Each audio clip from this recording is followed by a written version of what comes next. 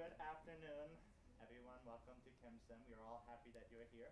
I get the privilege of introducing Dr. Martins, who is a very recent addition to the physics family, where I spend a certain portion of, portion of my existence in this university.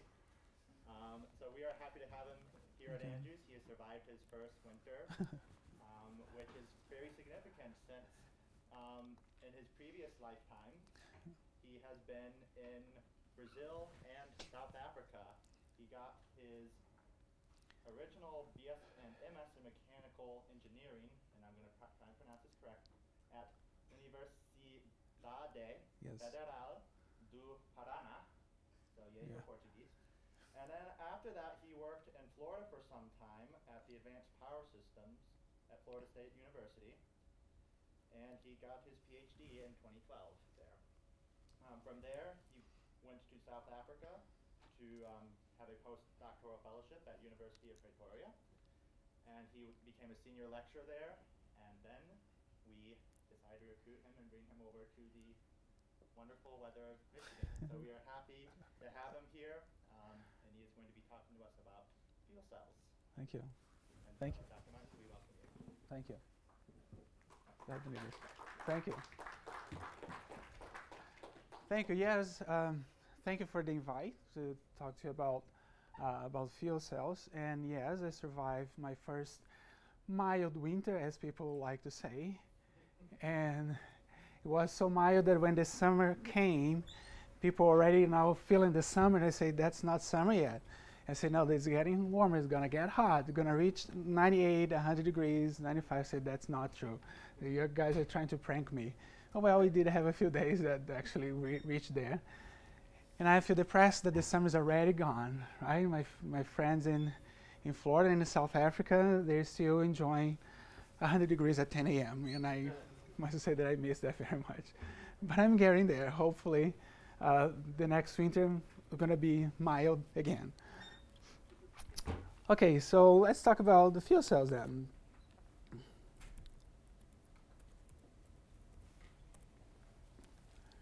So,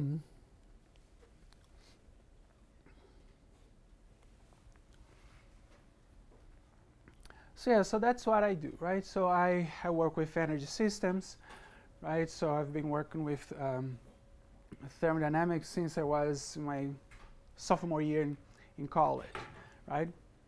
So um, I was a mechanical engineering student, and my thermodynamics professor, my first thermodynamics professor, once was saying, "So well, you're mechanical engineering students, and you know, robotics, computers, everything is being, you know, uh, programmed. So people are saying that there's no future for this kind of engineering anymore, because in the future, the computers will design things, the computers will design machines, and they don't need this kind of profession anymore." But he says something that make me a believer that I'll have a job forever. He said, listen, electricity generates heat, right? And the computers will always need electricity, always use energy. And if you don't know how to dissipate that, so the computers will fail. So yes, they need professionals like you. So well, that's great because as long as that's what I used to say, as long as humanity needs energy, I'll have a job, right? So that's what fuel cells do. So they generate electricity, right? Okay, so I work with mathematical modeling, and the purpose of mathematical modeling is one of the purposes of mathematical model is have optimization too, right? Every time I define what a mathema- mathematical modeling is, I always say, well, you might apply this concept in two different ways, right? Let's say that you have a phenomena that you don't know, you just know that that happens, but you don't know how, then, then why. You want to study that phenomena for the first time, let's say like this, right? So then you run some experiments, right? And then you have a pattern of, of the experiment itself, how the phenomena happens, and then you come up with physical laws using mathematical tools, and then you say, now this phenomena is modeled by this set of equations, right? This is one um, definition of mathematical modeling, or modeling. The other one, which is the one that I'm more experienced doing, is we have the first principles, and you have a phenomenon, and you model this phenomenon according to the mathematical um, equations, right? And if you want to change something, we change in your model. We don't need to build the system again, right? So if you want to now, if you have your car running with gasoline, and you want to see how it how it works if you change your engine to diesel, you don't have to make a diesel engine and put it in there. You can use a mathematical model and make the changes in there, and now you see what the behavior is, right? So that leads us to another issue then. So now we are using computers to make our calculations. That's great. So we were going to store all those data, right? So in these big places where, as you all know, generates heat. So you need somehow to manage that, right? But anyways, all those um, scientific challenges for the next generation. So fuel cells then. So we're going to talk about the motivation, the objectives. I work with two different fuel cells, alkaline fuel cells and polymeric one. We did some uh, validation, experimental validation, and work of optimization. So let's um, let's talk about these then. Okay, so fuel cells then. So why you're going to fuel cells? So they have high efficiency, right? Energy conversion 60%, 80% if you have cogeneration because we use fuel cells to generate electricity, but they also generate heat, right? So why not use the heat? And if you do that, we can reach 80%, right? Low emissions, it's safe and clean, reliable energy, alternative energy, so, uh, uh, energy sources compared to fossil fuel. Right, you have fuel flexibility, you can use hydrogen for lower temperature fuel cells, which is the one we're going to talk about today. But you can use other um, methane, for example. You can break it down in hydrogen, and then you can run the fuel cell too. And yes, we care about the environment, right? So as was saying, we can have hydrogen from natural gas and not as liquids, biological process, wind turbines, can generate electricity so it can break water into hydrogen and oxygen and then use that in fuel cells, right? And biomass as well. So here's the thing though. So fuel cell is something that um, people are very excited about. The Department of Energy has a specific department to handle that. But it's not about fuel cell itself, right? The fuel for fuel cells is hydrogen, right? So let's say we are almost there, right? Let's say that now we have cars running with fuel cells. We need hydrogen as a fuel, right? So now we need to have at every corner a gas station with hydrogen. So I need to produce that amount of hydrogen. So I need to transport that amount of hydrogen. I need to store that amount of hydrogen, right? So there is also, once again, uh, scientific challenges, not only the fuel cell, the device, it, uh, the only the device itself, right? Um, there is um, we can use fuel cells in houses, right? So then during the day you can generate hydrogen and oxygen using the electricity that you get from sun or as we're saying here, as wind turbines, right? Because during the day nobody's at home, right? So you can break down the molecule of water, but at this time, right, everybody's there watching TV, you know, cooking and everything, so you need energy, and you don't have the sun, right? Okay. So once again, no fossil fuel involved. So free from incomplete reactions, right? Yes, we can say incomplete, but we can have, depending on the design of your cell, I have problem of fuel not reacting, which is also a problem, right? And here what I call less reversibility compared to heat engines. So why is that a, a plus, right? Because think about it, right? Heat engines, we need, we have a chemical reaction, so then you have heat, and then the heat transforms energy into motion, right? So we have loss of energy in between, and we don't have this in here, right? So we don't need to generate heat. We don't need to generate heat, then generate motion, right? You can get that from the electricity. And, and here, no moving parts, so it's quiet, right? Okay, so as I was saying, the Department of Energy has a, a department that cares or handles the fuel cells, right? So then the Department of Energy cares about all those things, right? Hydrogen is one of them, so the fuel cell. They have a plan, I'm going to talk about the plan just now, right? And you have the series of applications. Stationary power, power which means that we can run, uh, you can use fuel cells to generate electricity here on campus. That's a line of research that I'm doing. I have a student that is making this study. It's a feasibility study. Can we now use fuel cells to generate the electricity on campus? Or we don't need only electricity, we need heat as well. So can use fuel cells for that. So that's what I've been working on. Right, transportation, car, buses, planes, on portable energies, right? You can use um, fuel cells to run computers, cell phones, and there they are, right? And our power needed to all of those things. So as you see, you have cars that are being um, manufactured. California is um, one that is ahead on that. They have gas stations on the streets. So now the challenge is, right? 50 years ago, the fuel cell would work and it would give one kilowatt as a power, right? And we're going to talk about the reactions, but the catalyst load was 35 milligrams of platinum per centimeter square, right? And this is what we would have, right? I Have 37 milliamps. This is current density at this voltage. Now, look what we have. 0.3, 200, and 0.8, right? So that's a good thing, right? Because you see for about the same voltage, we increase the current, and this is a huge plus, right? As you know, platinum is expensive. And I must say that depending on which country I am, I need to change the speech of my, uh, change the motivation of my speech, right? Because I was in South Africa, and platinum is abundant in South Africa. So they want to explore that because make the economy running. So if I come to this speech, you know what, let's not use platinum. Then even though they need electricity, I will not have a job, right? So I need to change the speech. But for us in here, if you make this number smaller, the better, right? So for transportation applications, so this is where we are, and we were, and our goal now is to double that, right? And here, well, what makes the fuel cell costly is the catalyst, right? So that's our goal now. We want to make this possible, right?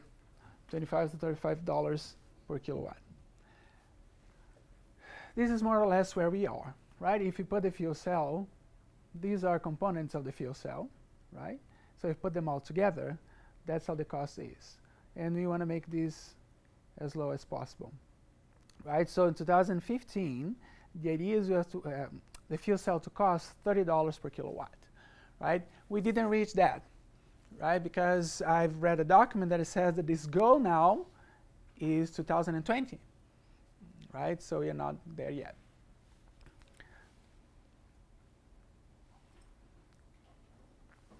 Okay, so this is from the Department of Energy. So if I have here, well, if you're talking about business now, right? This is how much has been produced in megawatts. You see in 2015 I have this big jump. This is um, stationary, right, in transportation. So from 2014 to 15, you have this big jump in here on people commercializing uh, uh, fuel cells for transportation, right? And as I was saying, the goal for 2020 is to have $30 per kilowatt. Okay, we'll talk about this already. Okay, for the research itself. So I took a fuel cell, a fuel cell only, right?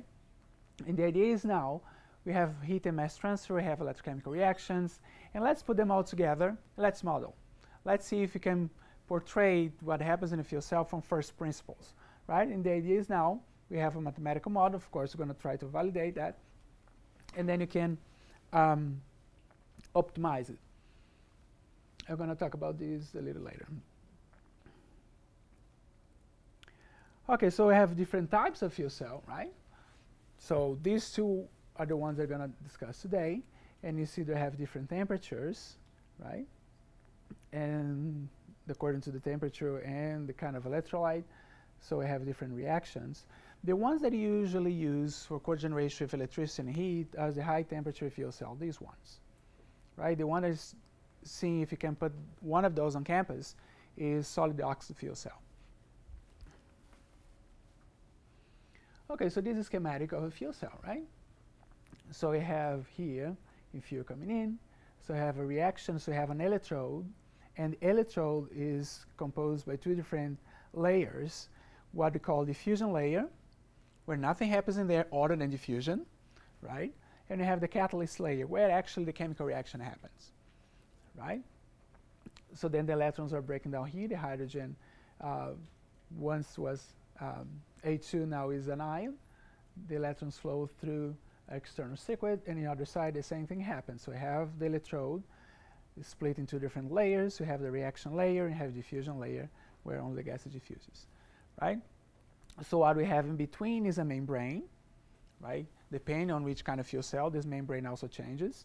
And the idea here is to flow only ions, right? So the electricity flows outside of the circuit.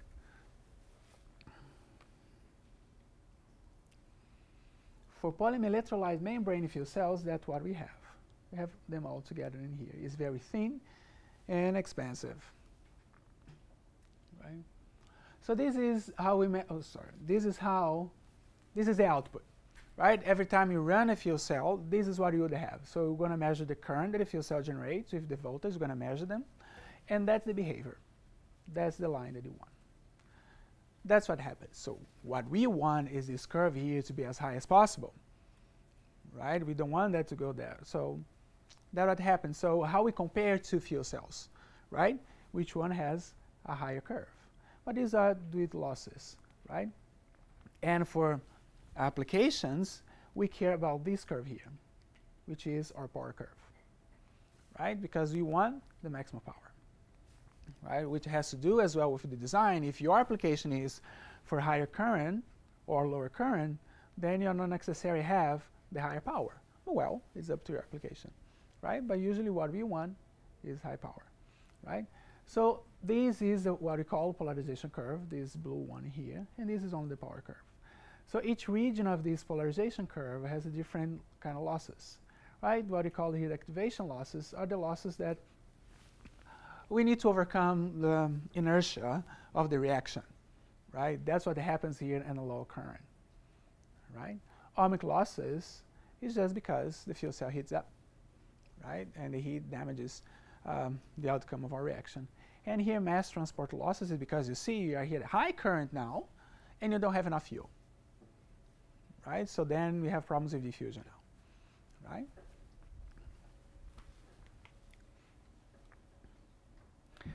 Okay, so then we divided the fuel cell. This is a fuel cell, right? So we divide the fuel cell in different, um, what I call control volumes, right? We call the bipolar plates. Well, they're metal because they have to be conductive, right? Diffusion layer, reactant layer, reaction layer, they are the electrode altogether, right? In between you have, in this case, polymer electrolyte membrane fuel cell, we have um, polymeric membrane here. And the same thing on the other side. So if you count them, so you have seven control volumes, right, and two bipolar plates. So what happens at them? So this is what happens. So we have a reaction here, right? As we were saying here, well, here don't have reaction. They, even though these two, two and three, are the electrodes, so you hold them all together, right? They are part of, uh, of one material. In this part, which is the thicker part, you have only diffusion. Now the reaction, ions only flo uh, flowing, and the other side reaction again, and then uh, the product flowing. So we work in dimensionless world, right, to make things uh, more general. So mass flow, temperature, heat transfer coefficient, areas, voltage, um, electrical resistance, all those variables that become, these are very important, the length. And easy. So we split the fuel cell in seven control volumes and we group them now into categories. The one that we have reaction, oh, we have reaction happening and the one that we don't right? So we count for heat interactions here, right? So this is uh, in, uh, with the ambient, right?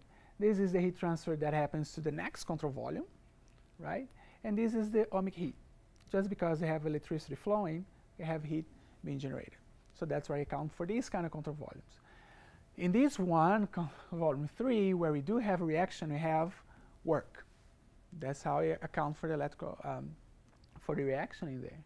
And here all the heat interactions. Now this phase interact thermically, thermally with the control volume 2 and this one with thermal, uh, control volume 4, right? Okay, so this is diffusion layer, the electrode, and the membrane, right? So we count, we are counting here for the heat um, uh, thermal conductivity, right? We are considering the, the thickness of each one, and we are counting this, right? So this is how we, we took that into account. And then we apply energy balance for each one of those, and that's what we have, right? All those are thermal um, heat interactions, and then control volume 3 and 5 are the control volumes when we have uh, the reaction happen, happening, and then you have work, free Gibbs energy, and here is only flow and diffusion, right? Why are we why are we uh, doing this job? Because, see, we took in consideration the length, right? When it doesn't show here, but when we make these numbers all dimensionalized, we are considering the length. We are considering the thermal conductivity. Now you're considering the material itself, right? So when you talk about the, the, Gibbs free energy and the reaction, you're talking about the temperature and pressure of the reactants, right? And once we have all of those, oh, and there's another thing very important here. We are considering the temperature distribution in here, right? So each control volume of those have a, its own temperature, right? So this is one of our findings, though. We want to see if you talk about fuel cell out there, they want to say, well, this fuel cell works at 80 degrees Celsius. That's operational temperature. But is that important to know that actually it, the temperature in the fuel cell is not uniform, right? That's the question I was trying to answer. So there's an approximation. So the temperature is uniform, but but, but for effect um, for modeling, can you assume that and have safe um, conclusions? So now once we have all the temperatures solved, because that's what we get from solving this system of equations, right? So now let's think about the electrical part, right? So the voltage, that's what we call a reversible voltage here. So you consider all the losses, activation losses, diffusion losses, anomic losses, right? And once we compute them all, we can finally calculate the power of the fuel cell for that specific current. And there's another thing about this uh, model, right? The current is an independent variable, right? So we set the current. So if the current is 1, what will be the voltage for that, right? Because you can see here that isomic heat depends on the current, right? So this is just uh, how we compute the losses, right? And once again, the current is here. And this is the way that we chose to, to, to make uh, yeah, experiments. So the, that's the way that we chose right, to make this modeling. There are a lot of modelings out there where actually the current is not independent variable. Right? That's just um, the way that we chose to do it. So I have the model ready, right? So, so let's make experiment and see how, how far we are from the reality, right? So I have this rig in here, so I have different fuel cells, right? And then we imagine, that's easy, right? We have only the fuel cell, we have hydrogen tank, air, right? In millimeters. You're measuring the current and the voltage. And this is our results, right? The experimental results. The temperature, the pressures, and that's our curve right? This is what we got. So now let's see um, how far we are from, from the reality. You see, we have to measure porosity, right? Why is that? It has to do with area. In this here, I failed to mention that this is porosity, right?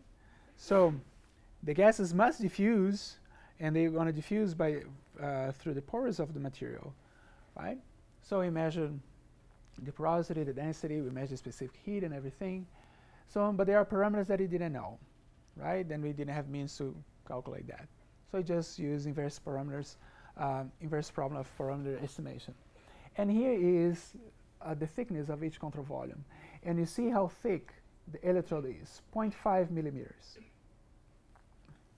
right? So the electrode is 0.5 millimeters. So these are numerical results, right? Our polarization curve. And that's how we compare them, right? So the numerical is right here, the experimental here, and then as I was talking, you see, it works well in here. And then it says, so what about this part here, right? So if you see, that's where you are, which of high current for the high power, right? So I understand there needs to be some sort of adjustment done here, but that's not the part that you are interested in, right? Not yet. So that's for a uh, polymeric fuel cell. So now for the alkaline fuel cell, there is a difference in here. So for the PEM fuel cells, we have a, we call acid fuel cell, right? But in this case, we have an alkaline solution which will make, uh, will be part of the membrane, right? So both of fuel cells, they are a low temperature, so they reach more or less about the same application. But the polymeric one needs platinum. And if we explore the concept about the alkaline one, we can use other metals, nickel, for example, gold, right? And let's see if we can actually make that happening, make that happen. If we can reach with those metals and make these fuel cells so efficient as the previous one, right? We did exactly the same approach. So we split the fuel cell. Oh, here's the thing, right? The difference in the reaction, right? And exactly the same approach. So the alkaline fuel cells, they are nothing, they are not new, right? So they exist, they went to the moon, right? They went to the moon, they were there, right? But uh, I can have the liquid electrolyte flowing here, um, alkaline solution KOH flowing here, right?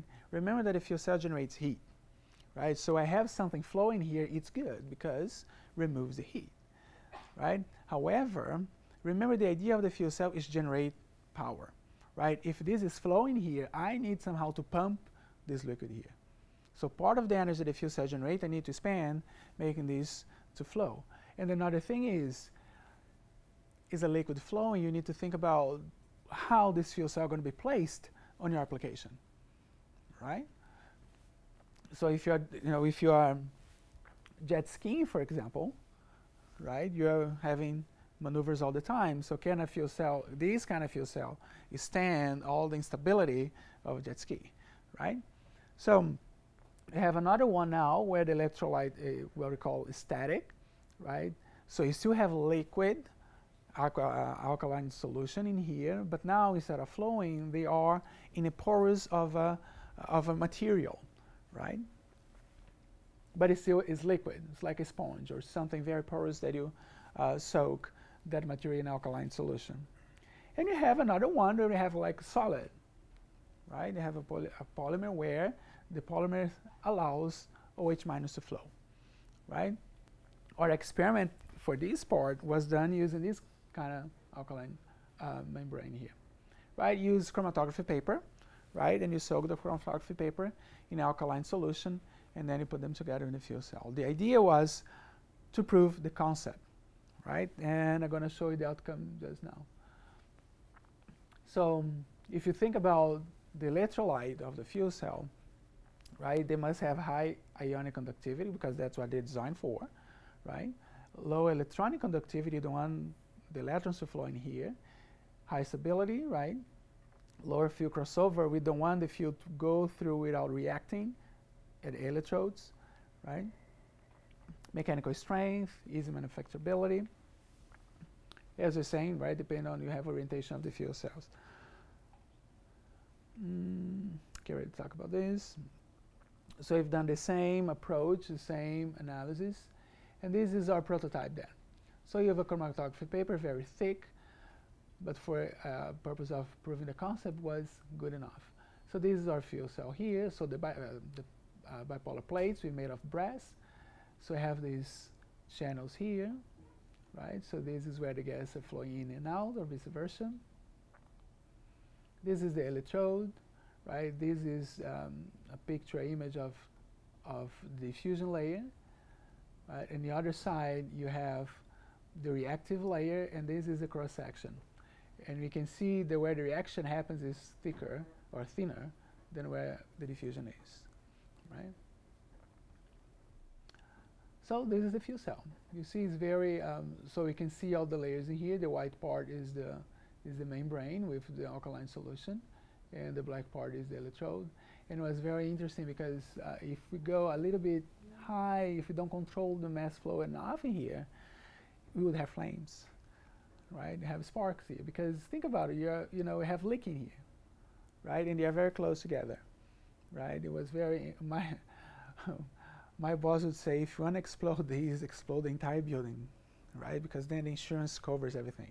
But if you explode only the lab, then I need to give explanations, right? so yes, though nothing serious happened. So okay, so then this is the rig, uh, the that we work. They're the same thing, the, the tanks and the fuel cell and the multimeters. Okay, so those are our results now. So we change the resistance. So we have like a, a electrical um, um, a load. That's how we call, and we change and, and we measure measured. So that's where we that's what we have, right? So once again, so we are off in some parts, right? So, but now we put them together now, so I have our work and our, our power. And I must admit, you see how how low the maximum power is? 0.2, right? So this fuel cell was used only to prove the concept, right? You're not going to use this fuel cell for anything else, right? Right? Because um, we have a lot of reaction happen that we didn't want, right? Remember the bipolar plate? They, they are made of brass, right? And you, you study you study chemistry, so we have KOH with brass, and all of a sudden have blue dots on our brass plate, right? And you're not expecting to have anything in there, right? So that could be one of the explanations why our power is so low, because there was something else happening there that we didn't want, right? Okay, so there's another thing though.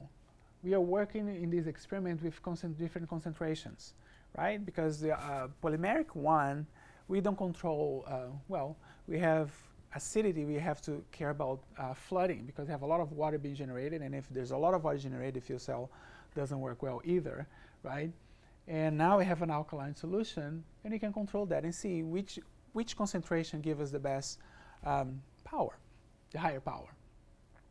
So I've done that with the same figure 45. And then we can show you the comparison between them both, right?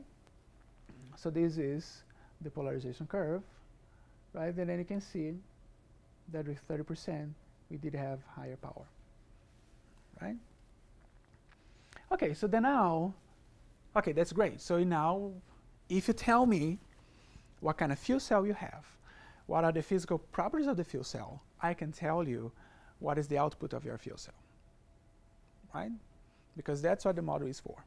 Because then you can think about, okay, uh, this fuel cell is, I want to improve this fuel cell and I want to ma make it more efficient. I want to have more power from the fuel cell. What should I do? So if we talk to experimentalists, okay, let's make a new electrode and let's try have this porosity or have try with this thermal conductivity or electrical conductivity, right? But I can tell you what happened right? So if you change those, and we could work together then, so I can tell you, you know what? This is the best fuel cell that you can have. So now it's your job to make it, right? So synthesize, make with an electrode that have these properties, right? So well, so now we are talking about optimization then. So how we optimize these then? So I have some restrictions, right? Because how big can a fuel cell be? Right? So the fuel cell, this fuel cell that I just showed you, is this big, right? So you're going to be walking around with this fuel cell this big every place you go with your laptop, right? You no, you, right? So we have volume uh, constraints, right? So once you have that, that's what we call total volume. So that's why we usually uh, we work with non-dimensional numbers, right? So you divide every single length in here by this parameter, total volume by one third, so we have this guy here, right? So the volume is a constraint, right? So we now have a mathematical model of how the power goes, right? So the net power of the fuel cell is the power that the fuel cell generates minus the power that is needed to make the gases to flow through it. And that's what it is, right? So we know everything now to make or optimization. So let's change parameters and see how these parameters affect the output of the fuel cell. So the net power is function of internal structure, right, and external shape. So what is the difference here now, internal structure, external shape? Internal structure is how I vary the thickness of these control volumes here, right? External shape is the shape of these blocks here. If it's square, if it's a little bit shorter than higher, and so on, right? So if I dimension, uh, work with non-dimensional numbers, so these are length, so it has to be 1. This is these control volumes, and these two guys here count for the thickness of, of the bipolar plates, right? And then I have all the parameters that I have these. So you see, those are all numbers that the lab can give us, right? And external shape, x, y, yeah, x, y, and z, the length, height, and depth. And that's what we have. So it might sound scary, but so those are all length of the fuel cell. So those guys here, all the thickness of each one of the compartments, right? For that parameters, for this, for this, uh, for these properties here, right? So this is what we have, right?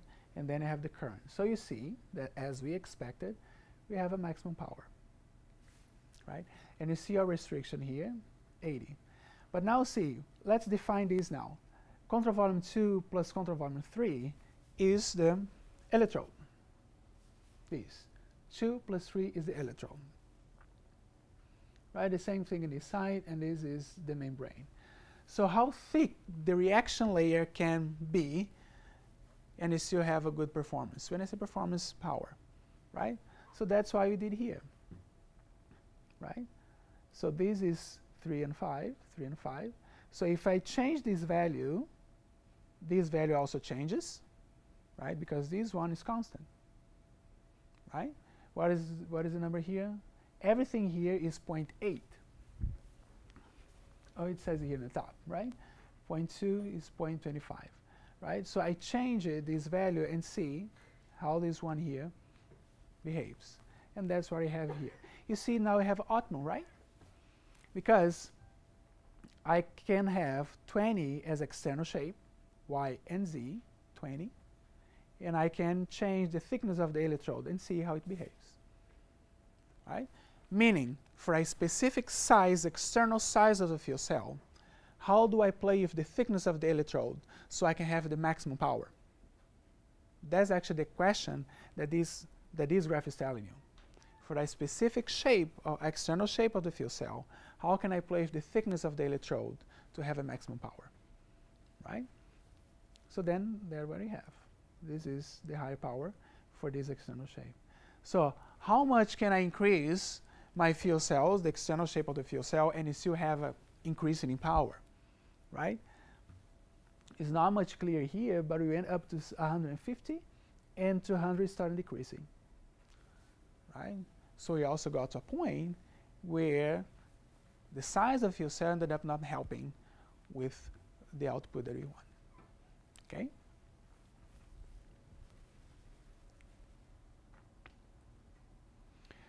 Okay, so our conclusions then. So we have, we first model the fuel cell. We consider the temperature across the fuel cell, right? And then we said that that's what it means. The temperature is function of space and current. Meaning, what means space is where in a fuel cell.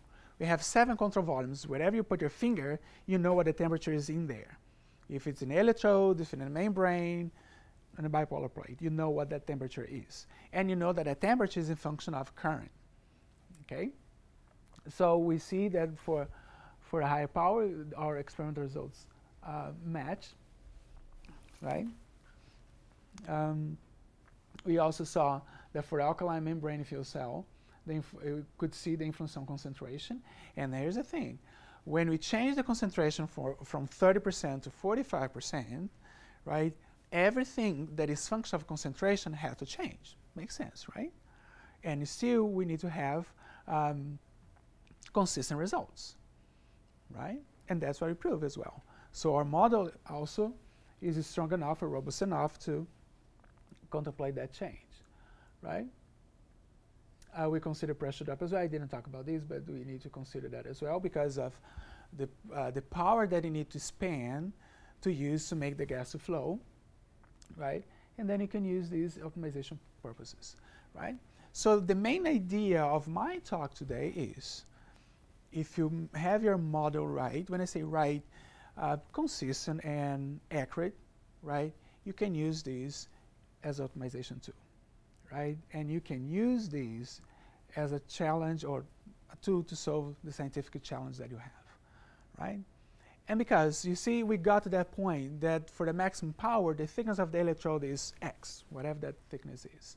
But now, how can we make, and now that's why I need your help, right? How can we make a electrode that thin with that properties that I'm telling you that it needs to be done, right?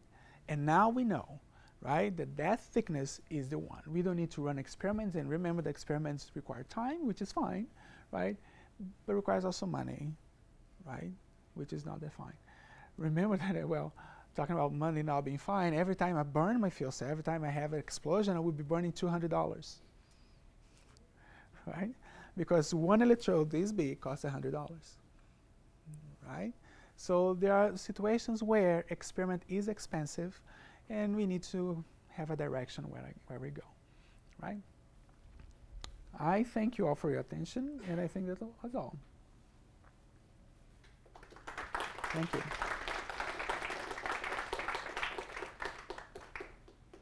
Yes. Oh.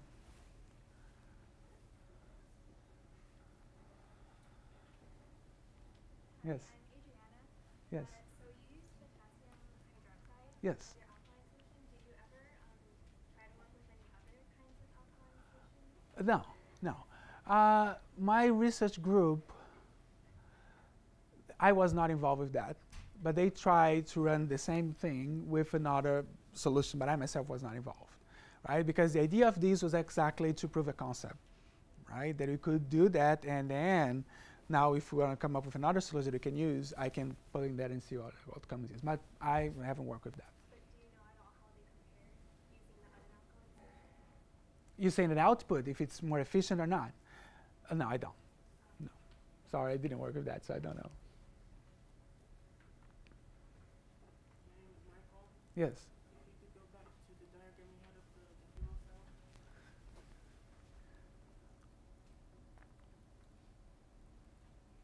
This one, where you have this one? The first one.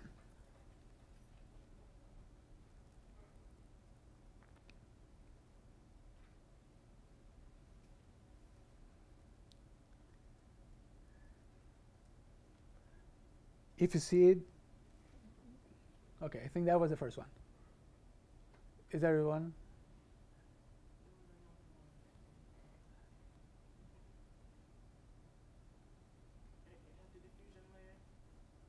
Um,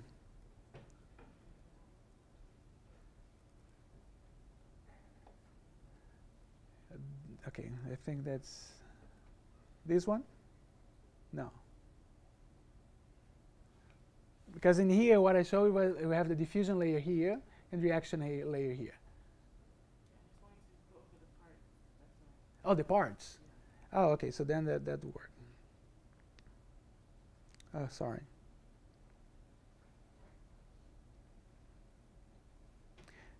Here, I think this would do. Well, let's go back to the first one.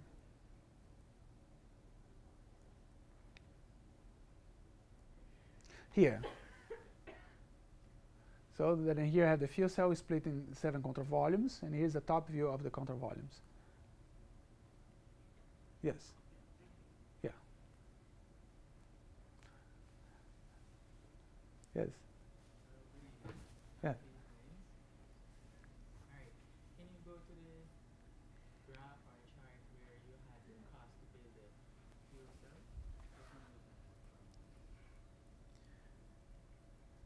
This one.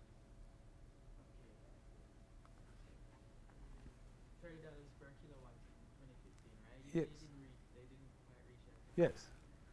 What, what are, where are they now? I assume that we are we are definitely around here. Let's say between here and the 30. Alright. I would assume that building a, I'll Uh-huh. that building a fuel cell to say using public transportation Yes. would be quite expensive because, for example, to operate a vehicle, you need like say 400 horsepower. That's a lot of kilowatt that you will use. Um, are fuel cells efficient enough to power machines or vehicles or so on for our everyday life? Because I'm s- I assume that small fuel cells yeah, can, might can power a cell phone or a laptop or so. But what about the most important thing that Yes. use a lot of Yes. electric power and is engineering? Yeah. Well, the fuel cells, they only one fuel cell is worth nothing, so I need more than one, right? Because the power of the one fuel cell is very low. The highest voltage I have one fuel cell is 1.2 volts, right? So you need to stack them together. So to answer your questions, you can have as many fuel cells all together to do whatever you want, right? But as you're saying, it becomes heavy, right? So it becomes heavy. So once again, is a problem of optimization right? And another thing is, it has to be, what is the fuel? It's hydrogen. So hydrogen is a gas, so you need a tank, which is a metal, right? So the thing is, so you need to make this trade-off, right? So you're carrying a metal and you have heavy things. So the answer for your question is yes, right? But it still is a challenge how we do that in a very efficient way, right? Um, another things though, you can use fuel cells for planes, right? However, the fuel cell generates enough power to sustain a flight, but it doesn't generate power quick enough for a takeoff or landing. So there is a challenge now is the response of the fuel cell. Once you press the gas pedal, how long does it take to actually get the velocity that you want? Right? So the response in that the transients, that's how we call this is steady state, but the transient response of the fuel cell is also something that people are studying. And the, the weight would like to decrease in weight, right? Because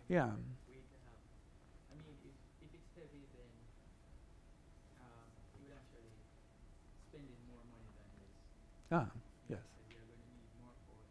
a heavier stuff. yes. Yes. Dylan, I th- think it's your turn finally. Hello, my name is Dylan. Um, I'm curious, would environmental factors such as humidity play into Oh, the yeah. model? Because as I was noticing, h- water was one of the Yes, byproducts, and yes. so I would imagine potentially it would work better in a more arid climate.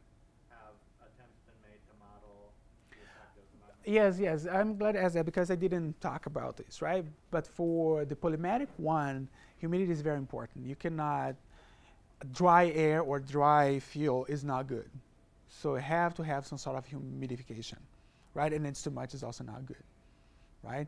So in lab, you need to humidify the gases that you have before in the fuel cell, right? So yes, the humidity plays a role in there because for the polymeric fuel cell affects the ionic conductivity. The ionic conductivity of a polymeric fuel cell is function of humidity, right? Now for the alkaline fuel cell, that's all right, but remember if you have too much water, what happens to the concentration of the, of the, the solution, right? So you need to uh, control that.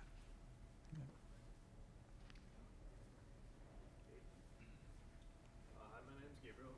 Yes. Um, so I, I, was, I was looking at this spreadsheet, 30 kilowatts per hour, and uh, I mean, or just 30 dollars per kilowatt. I, I don't know what the current price of electricity is, but uh, could fuel cells potentially be used for industrial production of power? Um, like, for example, replace a coal power plant with a fuel cell. Yes. Yeah. Yeah. I mean, it, it's more. I mean, uh, Walmart uses. You know, I mean, uh, yes, there are. There is room for that applications, I mean, right? Oh. You know, I must tell you something, right? So the thing is, there are applications, right, that you do depend on fossil fuel still, right? Military applications, they are not going to fuel cell. They are not. They need once again that quick response of power, right? So my point is, the answer for your question, the answer is yes. But now what I do not know is actually people are really willing to find that out, right? Because we have an economic problem now. Let's say that everybody, well, what I say is I don't have a job in Texas, right? Because oil is there. So, you know, there is this kind of economical um, balance sometimes, right? But I do believe there is room for fuel cell be widely spread, right? I think, not I think, well, uh, we don't know how long it took for the cell phones to be, you know, what they are now. How long people have been researching about cell phones, right, for them to be what they are now. So at some point, you're going to reach the same thing. Let's say the fuel cell now you can buy everywhere in a very cheap price. But how many decades before people are already studying it, right?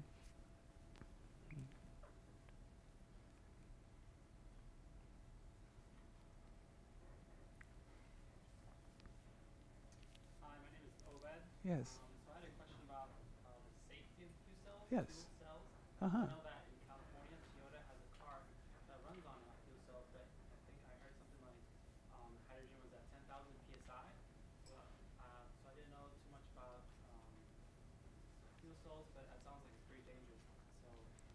I don't know. Do you have any thoughts on that?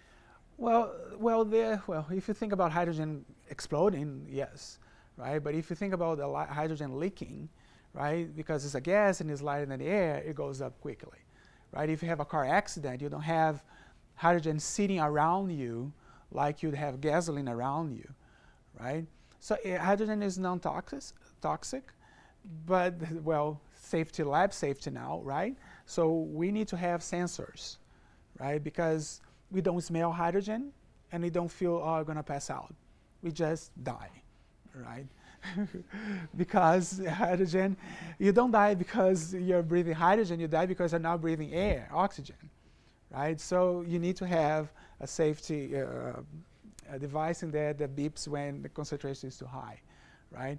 But about having hydrogen around, that's not an issue exactly because of this, because it's lighter than air, so it's gas. So, but yes, you need to be careful. You need, have regulations that have to be done. And there's another thing, though. Now, not for the scientists like us, but lawyers need to think about regulations now, right? So yes, it's a very big um, field to research. Yeah. Any other questions? All right, let's thank our. Okay. Alright, this is my last question. okay. Um, for the hydrogen fuel cell, like if you combust hydrogen and then you get back water, right? Um, can that same water be reused in the cell to generate more power?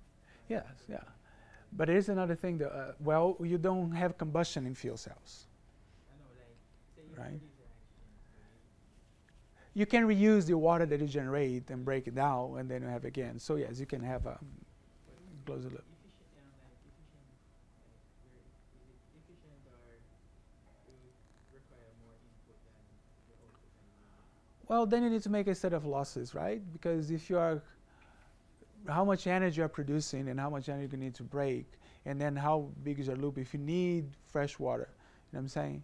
So yeah, the, the concept is great because you can use that water that you generate and break it down again and have it again, right? But then you need to be careful you not have perpetual machine concept involved in that, right? Which is not possible. Yes.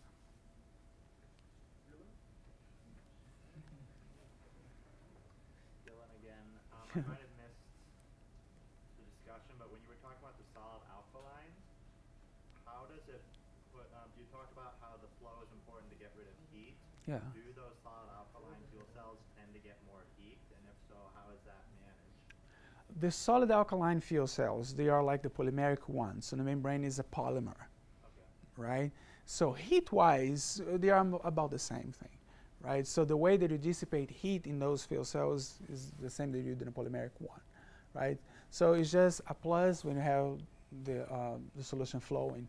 And I would say that nobody uses that anymore, right? So yeah, that wasn't like the first concept, but um, nobody used that. Okay, Dylan, since you have the mic, take us out. Okay. Good day? Well, we want to thank our speakers. Yes. Thank you. Thank you, Dr. Martin. Appreciate it. Thank you.